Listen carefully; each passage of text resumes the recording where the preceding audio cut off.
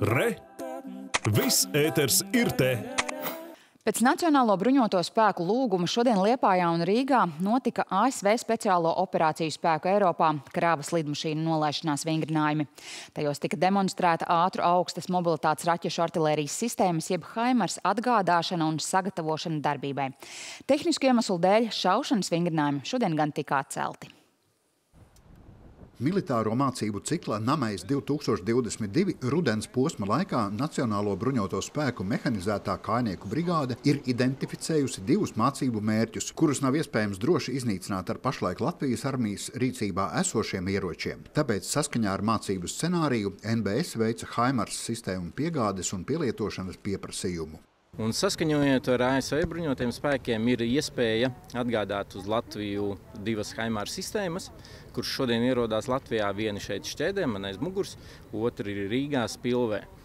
Un šeit jau mehanizētā brigāde dos uzdevumu šī Haimāra sistēmai iznīcināt mērķi jūrā, kur tiks šauts ar inerto lādiņu, ar mācību lādiņu. Savukārt Rīgā spilvē tiks izspēlēts imitēts mērķu iznīcināšana bez kaušu šaušanas. Haimars mācībās Latvijā piedalās jau otro reizi, un uz šejieni tika attransportētas no ASV gaisa spēka bāzes Vācijā. Tieši Haimars sistēmas šim nolūkam tika izvēlētas, jo tās mobilitātes ziņā savā klasē ir pārākas par citiem NATO valstu bruņoto spēku rīcībā esošajiem analogiem.